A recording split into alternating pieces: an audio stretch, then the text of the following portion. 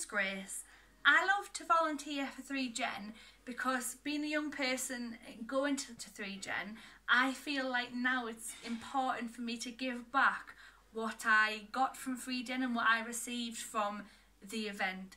Um, to be able to see the young people and to see how God works in their lives, not just in that weekend, but in the whole year, and be able to come together to create the massive connectional event that we have is the most amazing thing in the world.